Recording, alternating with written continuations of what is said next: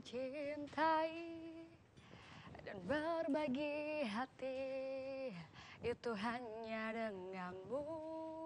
Namun bila ku harus tanpamu akan tetap kuarungi hidup tanpa bercinta Oke baik pemirsa, walaupun suara saya pas-pasan, tapi saya tetap masih tetap pede untuk menyanyikan karena dari musik dan lagu bisa mengobati dari hati saya yang sedang gundah gulana. Dan tentu juga dengan, dengan bisnis. Bisnis jika kita jalani dengan cinta menjadikan sesuatu yang sangat luar biasa. Karena kita ada di acara ILB I Love Business.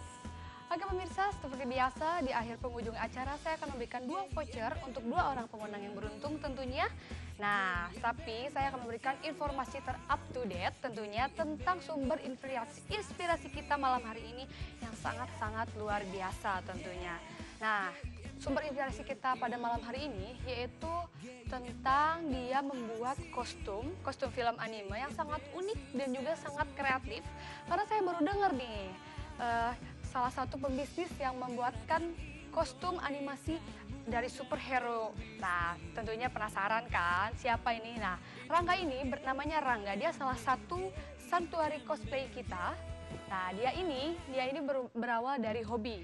Hobinya itu hobinya itu berawal dari yang dia senang membuatkan kostum untuk temannya dan juga dia melakukan kostum dengan temannya dan juga dia diminta oleh temannya untuk membuatkan kostum.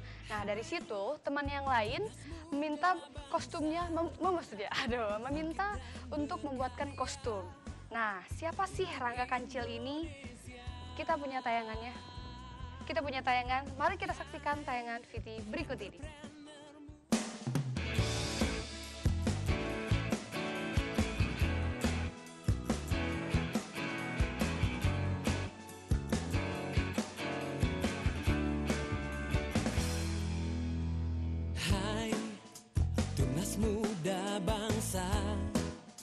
Bangkit dan berkarya untuk Indonesia. Hai entrepreneur muda, maju bergeraklah dalam satu Halo pemirsa, balik lagi bersama yang kita Agustina masih di acaranya High Like ILB. Seperti biasa saya tidak sendirian, saya akan ngobrol-ngobrol bersama rekan saya. Di sebelah itu entrepreneur muda juga. Langsung aja kita tanya-tanya ya. Yeah, yeah, yeah, Ini kalau misalnya aku lihat ini rombongan kayak mau pada nonton eh film ada kostum cosplay gitu. Sebetulnya uh, saya di sini uh, dari bisnis pembuatan kostum cosplay, kostum pembuatan kostum universal ya gitu. Ini bisnis saya gitu. Uh, saya boleh tahu kalau misalnya menurut uh, Rangga sendiri gimana sih kesannya? kesannya baik sekali ya, bagus sekali di mana kita uh, sebagai pemuda-pemuda itu bisa ditujukan atau bisa mempelajari untuk jadi pengusaha-pengusaha muda untuk lebih sukses dan tidak mengandalkan ya gaji bulanan atau apa tapi dari usaha sendiri bisa mendapatkan untung yang lebih besar dari kerja pada umumnya gitu. Sangat membantu sekali ya. Oke, kalau misalnya uh, ini kan aneh nih, aku baru tahu juga nih kalau misalnya masalah bisnis kostum. Kira-kira kalau misalnya pesan uh, bisa mencapai berapa nih? Kalau pesanan jumlah itu kalau dari kita lihat macam-macam ya dari ada aksesoris, sepatu dan lain-lain bisa sampai 40 sampai 50 per bulannya gitu. Kalau yang campur-campur yang aksesoris kecil-kecil bisa sampai kayak alhamdulillah bulan sekarang sampai tembus 270 pesanan kayak gitu. Jadi uh, peluang usahanya sangat bagus sekali ya.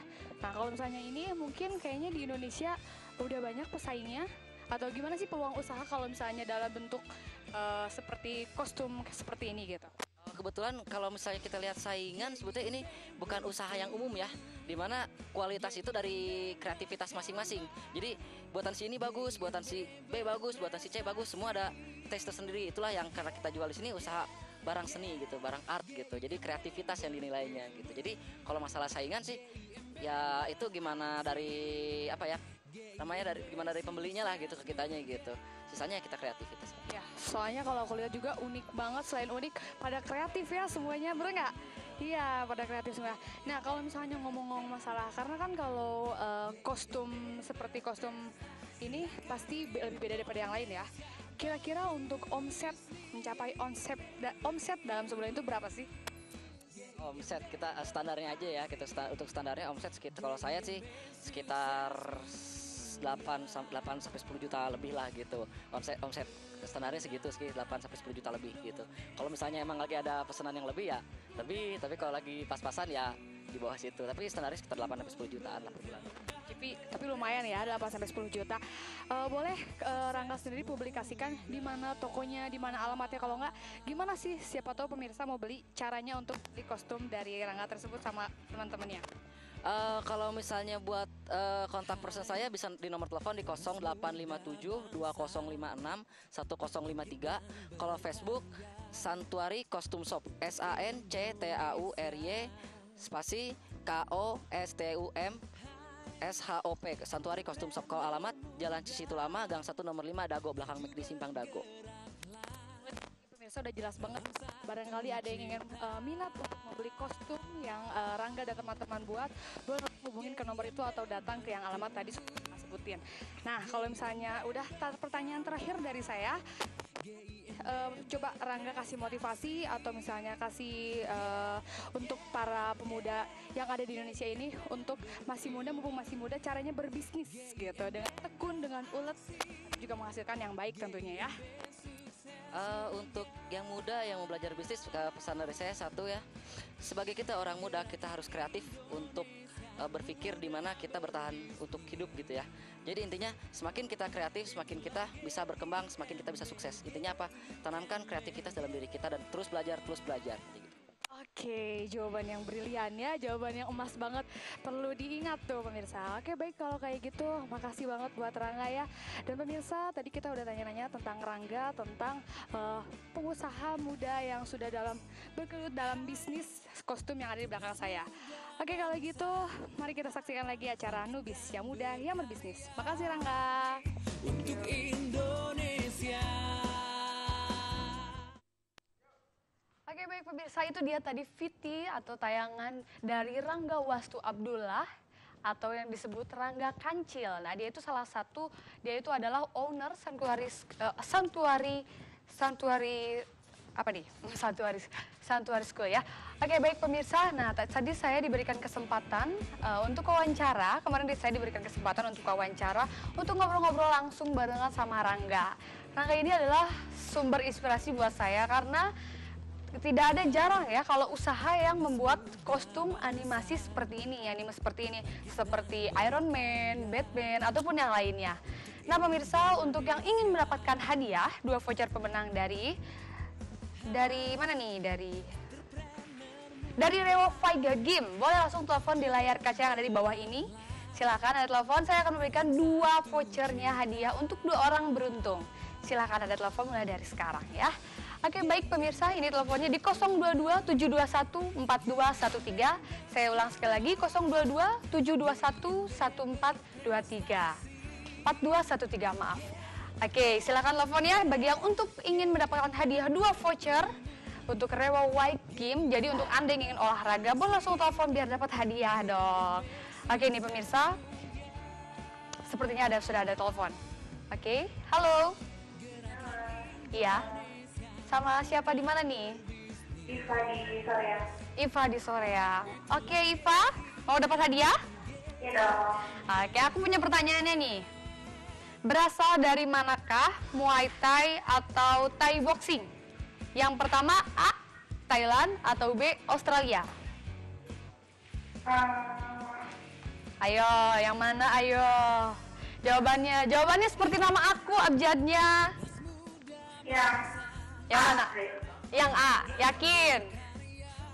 Yakin nggak jawabannya yang A, Riva?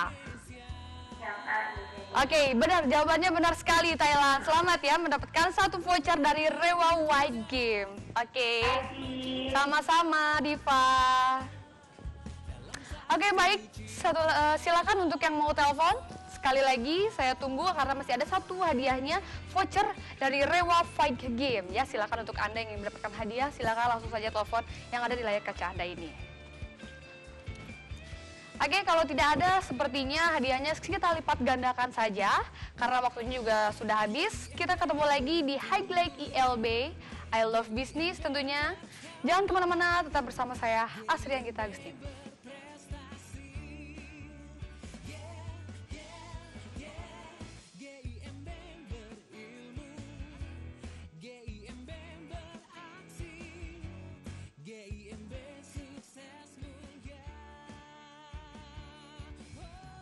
Ulang, silakan untuk Anda yang ingin melelpon, silakan telepon di layar kaca yang ada di bawah ini.